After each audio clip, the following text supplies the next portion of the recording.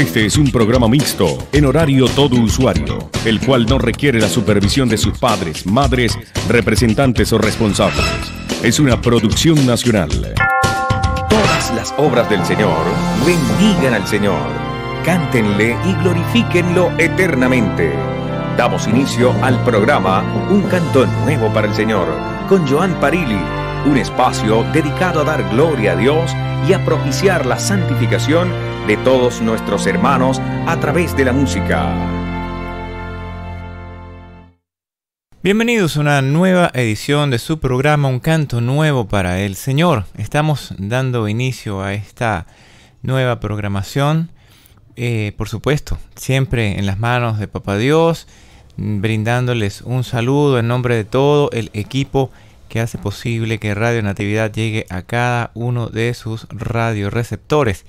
Y por supuesto estamos bajo la bendición del Dios de Israel, con la protección del Espíritu Santo y la dirección de la Administradora Virgen María de Jerusalén.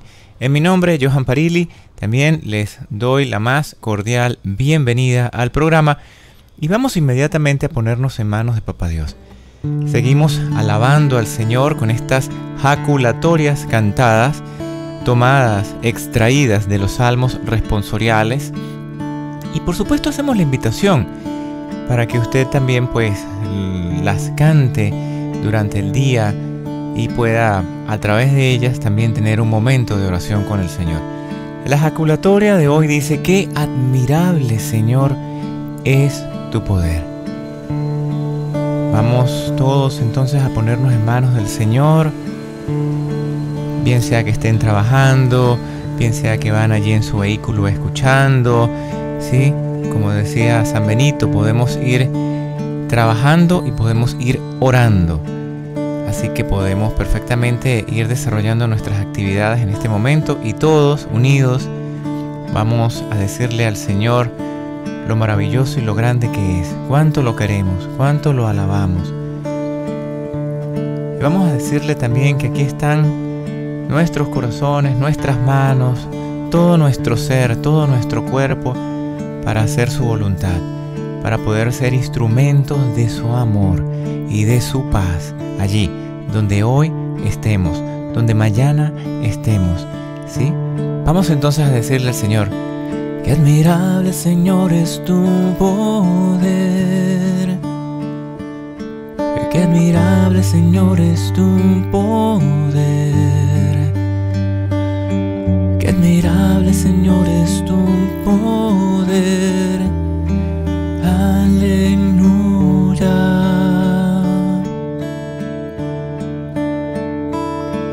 Qué admirable Señor es tu poder. Qué admirable Señor es tu poder. Qué admirable Señor es tu poder. Qué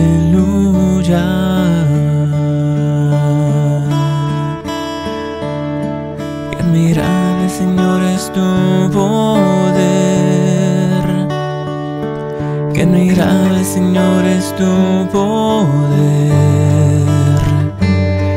Qué admirable Señor es tu poder.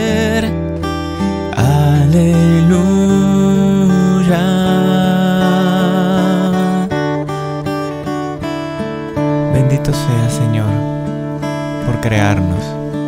Bendito sea Señor por la creación. Cada vez que vemos la creación, vemos lo grande y lo maravilloso que eres tú.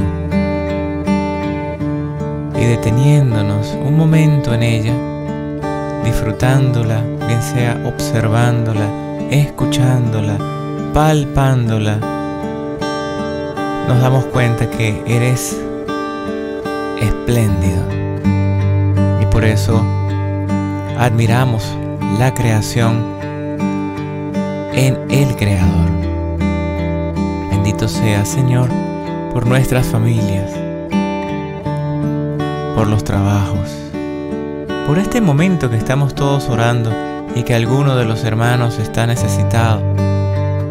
Hoy nos unimos a su petición, nos unimos a su necesidad, esa necesidad quizás de empleo, quizás de sanación, sea cual sea esa necesidad que Él te esté presentando o ella te esté presentando, la ponemos en tus manos, Señor, para que se haga tu santa y divina voluntad en la vida de esa persona, de ese hermano que en este momento está con nosotros desde cualquier rincón a donde llega Radio Natividad en oración. Y todos juntos te decimos a una sola voz, alabándote constantemente, porque podemos alabar, por supuesto, Señor, tanto en las angustias como en las necesidades, dolores, sufrimientos, enfermedades, alegrías.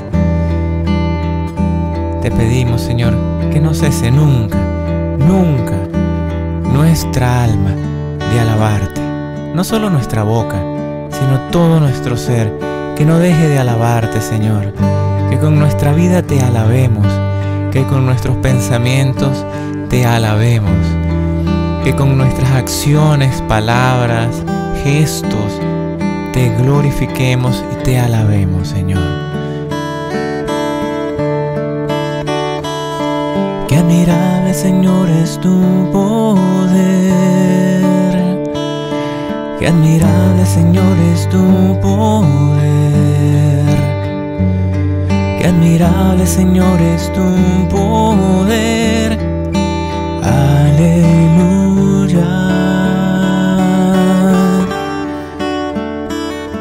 Qué admirable, Señor, es tu poder. Qué admirable, Señor, es tu poder.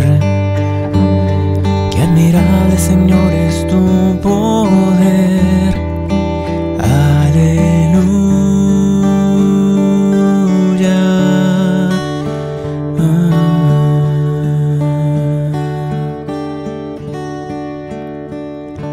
Gracias, Señor, por este momento. Y a ustedes hermanos los invitamos a quedarse con nosotros en el programa Un Canto Nuevo para el Señor. Vamos a escuchar música que tiene aquí ya dispuesta nuestro operador en la estación y volvemos en unos minutos con más de su programa Un Canto Nuevo para el Señor. Una iglesia sin música es como un cuerpo sin alma. San Juan Bosco 0412-667-9976. Hoy en nuestra sección Cantemos con la Vida vamos a mm, apoyarnos en una experiencia que sé todos hemos tenido en algún momento. Como ya lo saben, pues esta sección siempre va de la mano de las obras de misericordia y una de estas obras es soportar con paciencia los defectos de los demás. Y esto porque también siempre, siempre tenemos que tener muy presentes que los demás también soportan y están llamados a soportar con paciencia nuestros propios defectos. Claro, no nos debemos agarrar de esta excusa para darles mm, dolores de cabeza a nuestros hermanos, diciendo, bueno, aguántenme porque usted está llamado a soportarme. Tampoco, ¿no? No sería eh, caritativo, no sería un actuar fraterno, para nada. No sería un actuar partiendo del amor si pensamos de esa manera. Pero lo traemos hoy a colación porque mm, en estos días mm, estamos viviendo experiencias, eh, bueno, siempre, siempre hemos mm, vivido diversas experiencias, pero en este campo del soportarnos mutuamente, podríamos nosotros en el día a día encontrarnos con esas mm, situaciones de vida donde alguien nos habló de la manera inadecuada, puede ser el profesor en el colegio o en la universidad, un compañero de trabajo de estudio, un familiar, aquella persona a la que llamamos por teléfono para pedirle la información. Fíjense que esto es muy común cuando uno llama de pronto a estas instituciones mm, de servicios públicos por el estilo, ha sucedido en muchas ocasiones que uno se siente que lo están tratando mal, que le están dando la información a uno es casi que por obligación y casi que la persona mientras nos da la información nos está diciendo, por lo menos de pensamiento, ya, cuando se va? ya, por favor. Como que no siga aquí. Es, complicado porque eh, todo esto pues va acompañado a veces de gestos, suspiros, malas caras, mm, prejuicios, porque sucede, ¿no? Recuerdo que a mí me ha pasado, obviamente, seguro a ustedes les ha pasado, uno llama a pedir una información y no, eso, eso es así, así, así, así. Disculpe, señorita, eh, pero es que no he terminado de darle información. Eso ha sucedido, ¿no? Que no lo dejan a uno terminar y ya le están dando una respuesta prefabricada. O sea, como que ya, bueno, usted me va a decir esto, yo ya de una vez le respondo con esto. No, ya, pero déjeme terminar de contarle lo que me está pasando. Así sucede en muchísimos casos, incluso con momentos de salud, donde uno no se siente bien atendido, eh, el hijo que no se siente bien eh, atendido, que no es escuchado por sus padres, la esposa que no es escuchada por su esposo y viceversa, porque también sucede, ¿no? No crean ustedes que nada más las mujeres son las únicas que tienen que em, tener a alguien para hablar y desahogarse. Nosotros también necesitamos de todo ello y cuando estamos casados, pues es nuestra esposa quien en principio eh, asume ese papel de bueno, vamos a soportarlo. Cuéntame, ¿qué te pasó, no? Y uno le puede llegar con aquellas historias pesadas del día, de lo que vivimos, y a descargarse de todo aquello, ¿no? Eh, o peor aún, uno no llega al plano del diálogo, sino que eh, se desahoga literalmente, mujeres y hombres, ¿no? Me refiero aquí a esposos. Esto hay que tener mucho cuidado porque esto es parte del, día a día. Uno llegó a la casa tuvo un mal día, lo saludan uno con mucho amor y uno responde, bueno, ya todos saben, cada quien tiene su estilo, ¿no? Pero no respondemos de la mejor manera. Entonces, tengamos en cuenta siempre, siempre esto para pedirle a Papá Dios el auxilio. Que Jesús, pues, como debe ser, siga siendo nuestro modelo en todo esto de, soportar. Fíjense, nuestro Señor soportó de todo, de todo antes de la cruz. Em, y todo lo hizo por amor. ¿Sí? y nosotros, no más que con lo que le dijeron antes de crucificarlo, cuando lo llevaron ante el Sanedrín, eh, nada más que con eso, que vivió él ahí, ¿no? de palabra, em, ojo, solo de palabra, porque obvio le hicieron muchas más cosas, ¿no? Pero solo con las cosas de palabra que él recibió, cualquiera de nosotros se hubiera molestado, bueno, muchísimo. Habría incluso contestado mal. Podría haber llegado incluso a actuar del plano mm, físico, ¿sí? Con algún movimiento inadecuado en respuesta al insulto. Qué increíble, ¿no? O sea, Jesús sabía todo lo que le iba a pasar y lo soportó por amor a nosotros soportémoslo nosotros también, ahora por amor a Jesús. Y así cantaremos ese cántico nuevo que el Señor pide para todos. Cantaremos con la vida. Están escuchando un canto nuevo para el Señor a través de Radio Natividad 0412 667 9976. Si cantas solo con la voz, por fuerzas tendrás al fin que callar. Canta con la vida para no callar jamás. San Agustín. Están escuchando un canto nuevo para el Señor a través de Radio Natividad. Vamos en nuestra sección dedicada a la música litúrgica, hoy específicamente a hablar de el canto del Cordero de Dios. En las ediciones pasadas, pues hemos tenido la posibilidad de ir de alguna manera abordando cada uno de los cantos. Y hoy pues es necesario que mm, lo hagamos también con el Cordero de Dios. Es muy importante que profundicemos realmente eh, en, en, cuanto, obviamente, no solo al ámbito musical, sino en cuanto al rito en sí mismo, en lo que se está viviendo en ese momento. Como siempre, de la mano de la instrucción general del misal romano vamos a abordar el tema. Y para ello nos vamos acá a el numeral 72, referente a la liturgia eucarística, encontramos en el punto 3 de este numeral 72 que dice, por la fracción del pan y por la comunión, los fieles, aunque sean muchos, reciben de un único pan el cuerpo y de un único cáliz la sangre del Señor, del mismo modo como los apóstoles lo recibieron de las manos del mismo Cristo. Importantísimo, ¿no? Tener esto presente. Por la fracción del pan y por la comunión, todos ¿sí? recibimos de un único pan el cuerpo y de un único cáliz la sangre del Señor. Esto nos mete, por supuesto, ¿sí? en todo lo que estamos en ese momento viviendo en la Santa Misa.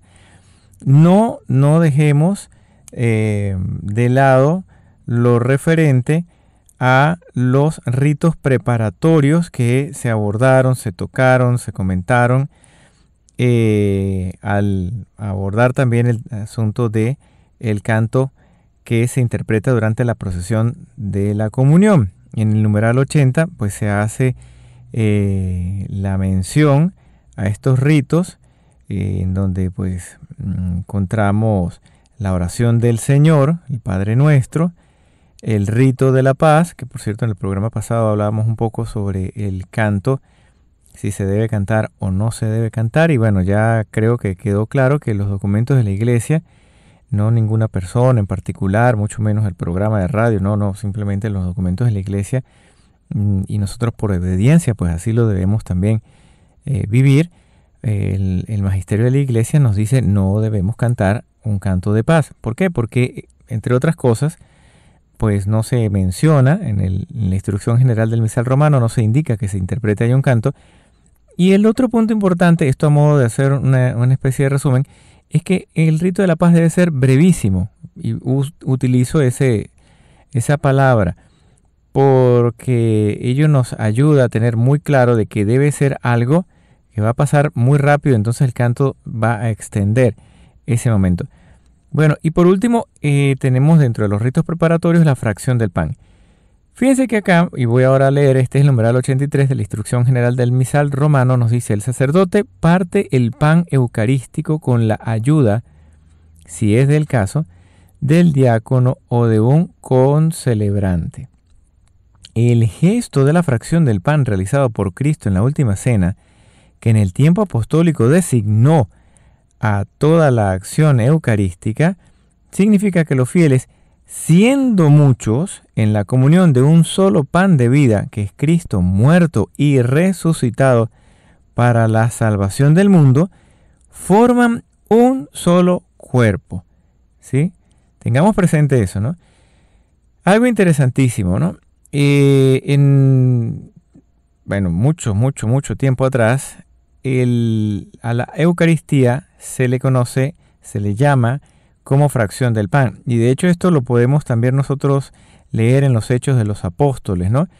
Que dicen que, bueno, que los mm, discípulos eh, compartían la fracción del pan, compartían, sí, sus bienes en comunidad, asistían a las enseñanzas de los apóstoles.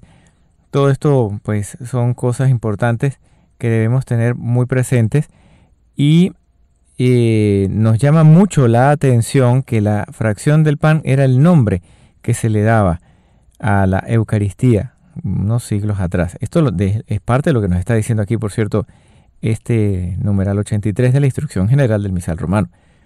Luego eh, nos hace referencia a la carta de los Corintios, la primera carta de los Corintios, capítulo 10, versículo 17, donde se nos está indicando y vuelvo a leerlo para que no lo tengamos allí, que no lo pasemos por alto, porque la idea es cantar, ¿verdad? Cada parte de la misa, conociendo a profundidad el por qué estamos cantando esas partes de la misa. Y ello nos va a ayudar, por supuesto, a elegir los cantos correctos, porque ahí viene el punto, que a veces decimos, bueno, esta parte es como muy lenta, vamos a ponerle un canto alegre para que la gente no se vaya aquí a, aburrir porque esta parte va muy lenta. No, ya va. Si estamos conscientes de lo que se está viviendo, de lo que se está haciendo en ese rito, es más, sabemos que hacer unas interpretaciones musicales eh, fuera del contexto, pues lo que va a hacer es distraer. Incluso hasta se podría ver como una especie de falta de respeto, ¿no? Según el rito que estemos acompañando. Porque cada rito pues tiene sus particularidades. De allí lo que estamos haciendo acá de compartir, de desmenuzar cada elemento. Entonces la primera carta a los Corintios, capítulo 10, versículo 17, que todos podemos leer, em, nos dice que el gesto de la fracción del pan realizado por Cristo en la última cena Em, que en el tiempo apostólico designó a toda la acción eucarística, significa que los fieles, siendo muchos, en la comunión de un solo pan de vida, que es Cristo muerto y resucitado, para la salvación del mundo, forman un solo cuerpo. Un solo cuerpo. ¿Ok? Fíjense lo importante, ¿no? De la fracción del pan. Sigo leyendo. La fracción comienza después de haberse dado la paz y se lleva a cabo con la debida reverencia pero no se debe prolongar innecesariamente ni se le considere de excesiva importancia. Este rito está reservado al sacerdote y al diácono.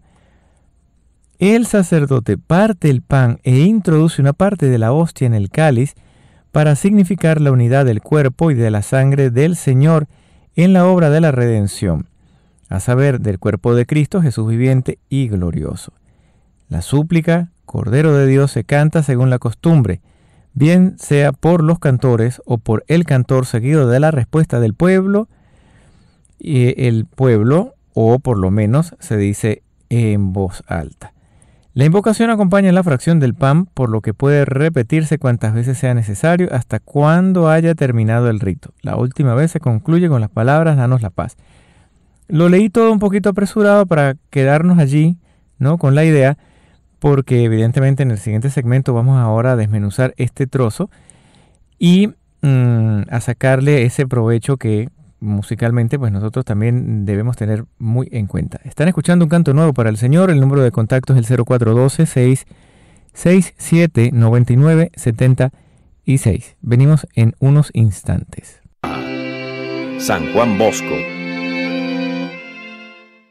www.fundamusica.org y ministeriodemusica.net. Bueno, quedamos en este momento dispuestos a leer el último párrafo del numeral 83 de la fracción del pan, que dice, el sacerdote parte el pan e introduce una parte de la hostia en el cáliz para significar la unidad del cuerpo y de la sangre del Señor en la obra de la redención, a saber, del cuerpo de Cristo Jesús viviente y glorioso. ¿Ok? ¿Cuándo comienza el canto del Cordero de Dios? Pues comienza cuando el sacerdote parte el pan. Ahí comenzó. Ahora, esto también hay que tenerlo en consideración y irlo llevando de la mano de, todos los otros aspectos que se van eh, dando para poder nosotros elegir el, canto correcto, o sea, sobre todo la melodía, porque sabemos que el texto no se puede alterar, el texto es el mismo, que siempre se ha interpretado. Mm, tengamos eso muy en cuenta, en el numeral 366 nos dicen que el canto del Cordero de Dios junto con los otros cantos que forman parte de lo ordinario de la misa no pueden sustituirse por otros cantos, ¿no? O sea, hay que tener el texto totalmente íntegro, sin modificarle, agregarle o quitarle cosas o que si el sinónimo, no, no, no. Entonces, teniendo eso muy presente, preguntémonos y vamos a ir acá entonces desglosando lo siguiente de este numeral 83. El numeral 83 nos está diciendo el, eh, que en el momento del Cordero de Dios, ¿sí? se hace una súplica. Lo leo. La súplica Cordero de Dios se canta según la costumbre, bien sea por los cantores o por el cantor, seguido de la respuesta del pueblo, o por lo menos se dice en voz alta. Fíjense ahora lo que dice. La invocación acompaña la fracción del pan, por lo que puede repetirse cuantas veces sea necesario hasta cuando haya terminado el rito. Y la última vez se concluye con las palabras Danos la paz. Se dieron cuenta entonces de este aspecto importantísimo, ¿no? ¿Qué estamos cantando? Esto es necesario tenerlo presente. ¿Qué estamos cantando? Eso es como cuando vamos a interpretar el canto del cumpleaños. Bueno, ¿qué es lo que vamos a cantar? Pues el cumpleaños feliz. Imagínense que salgamos con el himno nacional. No, que vamos a hacer ahora un, un canto porque estamos en el colegio, entonces nos pidieron que hagamos un canto de inicio de, la mañana. Y salimos con un canto, qué sé yo, como si fuera de despedida, ¿no? Estamos en la mañana, entonces nos ponemos a cantar un canto de mediodía, como que no, ya es hora de ir a almorzar y qué sé yo, ¿no? Suponiendo, ustedes saben que en los preescolares y demás siempre hay mucho, mucho eh, muchos momentos musicales y hay muchos cantos, ¿no? Que si el canto para merendar, el canto para ir a jugar, el canto para descansar, el canto ya, bueno, la bienvenida, por supuesto, la, la salida. Entonces, contextualizar un poquito todo esto, porque es igual, o sea, es igual, imagínense, ir a una fiesta y entonces en la fiesta, en lugar de poner una música bailable, que es lo que se acostumbra, ponemos una música de relajación, de esas que invitas a dormir. Entonces, ¿qué estamos cantando? Bueno, fíjense lo que estamos cantando. El canto, ¿sí? Cordero de Dios dice claramente el numeral 83 que es una súplica. Y poco después también lo menciona en el numeral 83 que es una invocación. Entonces, lo primero que se dice, ¿sí? O sea, hay tres partes, de hecho, que se pueden eh, aquí encontrar. Primero se hace la invocación. ¿Y a quién estamos invocando? Al Cordero de Dios, es decir, a Jesús. ¿Sí? Luego, le, segundo momento, se le atribuye al Cordero de Dios algo en particular. Se le dice, Cordero de Dios, el atributo viene ahora, que quitas el pecado del mundo. Y a posteriori se le, no, ahora viene la súplica y se le dice, ten piedad de nosotros. Y evidentemente ya en la última repetición se le dice, danos la paz. ¿A quién se lo estamos diciendo? Al Cordero de Dios, a Jesús. Jesús, ten piedad de nosotros. Jesús, danos la paz. Cualquiera podría decir, ah, bueno, ahora en adelante voy a cantar el canto, no Cordero de Dios, sino Jesús. Que quitas el pecado del mundo, ten piedad de nosotros. No, no se puede. No, el numeral 366 dice, mantengamos los textos íntegros. Además, esto es palabra de Dios. Si nos vamos a los evangelios, vamos a recordar aquel pasaje de San Juan Bautista, haciendo su labor, y cuando llegó Jesús, ¿qué dijo? He ahí el Cordero de Dios que quita el pecado del mundo. Y entonces debemos preguntarnos nosotros, ¿quiénes somos nosotros para estar modificando el texto de la palabra de Dios? Entonces, bueno, vamos a dejar la, la, la, canción tal cual como está escrita de siglos, ¿no? Eso tiene mucho tiempo atrás. Incluso podría abordarse este aspecto, ¿no? Porque este canto del Cordero de Dios tiene su origen, eh, bueno, tenerlo en consideración, eh, su origen oriental, la invocación Agnus Dei, y está inspirado, como les mencionaba en ese pasaje del Evangelio de Juan, capítulo 1, versículos 29 al 36. Luego, incluso para darle aquí otro contexto, se introduce el Agnus Dei en la liturgia romana gracias al Papa Sergio I, quien eh, entre 1687 y, 700, eh, y, el 701 sí llevó, se, estuvo pues como sucesor de Pedro. Entonces, bueno, para no desviarnos mucho de esto, simplemente para mm, reafirmar lo importante de no cambiar las cosas, tengamos en cuenta estos aspectos. ¿Qué estamos cantando? Bueno, estamos haciendo una invocación y obviamente le estamos atribuyendo, estamos reconociendo que el Cordero de Dios quita el pecado del mundo y ahora procedemos a suplicarle que tenga piedad de nosotros. De allí entonces se desprende que la música que debe acompañar este texto debe ser una música idónea a la invocación, al atributo que estamos reconociendo y a la súplica que estamos realizando. Eso es así. A veces uno se pone y rebusca la música porque uno dice, bueno, vamos a hacer aquí, aquí esto y esta otra cuestión, qué sé yo, de pronto para que no se aburra uno o que se aburra los fieles, qué sé yo, qué conceptos a veces nosotros como músicos de muy buena fe, porque no digo que eso se hace con intenciones de distraer, con intenciones mm, de desviar la atención, pero a veces uno en ese proceso toma una mala decisión y es algo así como decir, bueno, Imagínense que usted va a pedir un crédito al banco y llega un amigo y le dice, mira, yo tengo la mejor manera eh, para pedir créditos, porque ese gerente yo lo conozco. Si tú le llegas y le echas una cantidad de chistes, le cuentas cosas cómicas y te pones, le haces así de hombre orquesta y le bailas enfrente y demás, se va a dar cuenta de todos los dotes, qué sé yo, o capacidades que, tienes en esa empresa que póngale, es una empresa de, de, festejos de esta para hacer ¿no? fiestas infantiles y todo lo demás. Y entonces así te va a dar el crédito. No, o sea, en principio lo que habría que hacer es llegar muy formal con un documento, una solicitud, o por lo menos ir bien ¿no? a esta entrevista con el, el, vestido adecuado, ¿no? La, ropa adecuada, la terminología para el diálogo que se va a desarrollar más adecuado del caso y luego pues sí, se le lleva de pronto si quiere conocer más a profundidad la empresa, efectos de dar el crédito, pues se le puede hacer una presentación de lo que este, esta empresa de festejos o mm, de animación, como se le quiera llamar, pues ofrece como servicio.